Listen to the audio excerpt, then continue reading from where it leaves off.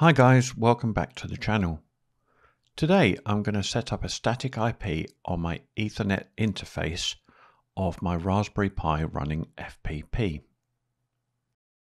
Now as you'll see here I already have a wireless interface set up and that's going to my home network but I want to connect a controller via a hardwired connection to this Pi.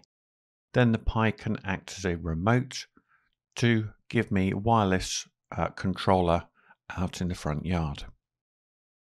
Because this instance of FPP is going to be connected directly to a controller, there's no router or DHCP server out there. They're going to be connected directly one to each other. So I need to set up static IPs on both to allow them to talk to each other. Now to do that, I'm going to go to Status Control Network. I've selected Ethernet 0 and I'm going to put in a static IP address. So I'm going to give it one uh, 192.168.10.1 to keep it separate from everything else. My net mask is going to be 255.255.255.0 for a standard uh, what's called a slash 24 uh, network. My gateway needs to be the default gateway of the device.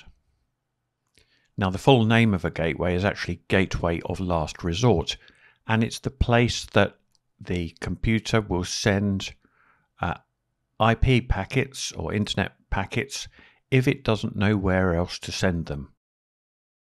Now, because I've already got the wireless LAN set up, that is going to be, my gateway is going to be on the end of that wireless LAN. So in this case, my gateway is going to be, but yours may vary. So you only have one default gateway on the device. You might have to enter it more than once uh, on different interfaces, but you will only have one default gateway. So I'm going to update interface. It says don't forget to set a DNS IP address. Um, you may use 888 or 1111.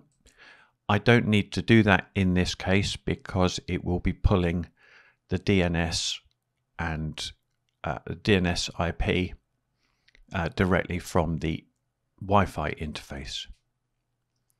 So there we go. I've updated my interface.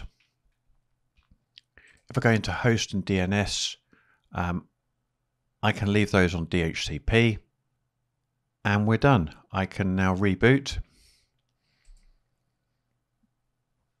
And in a few moments, my Pi will come back up configured with the, with the static IP on the Ethernet interface. And here it comes. The Pi is just finishing rebooting. I've just seen the uh, the header update there. And if I close that now, we can see that we've got two interfaces configured. My wireless LAN is on 4.77 and my Ethernet 0 is on 10.1. So there we go. Oh, having a think. There we go. That's uh, that's the setting up of a static IP on your Ethernet uh, interface. So as usual, I hope you found this useful. Take care, have fun, and I'll see you on the next one.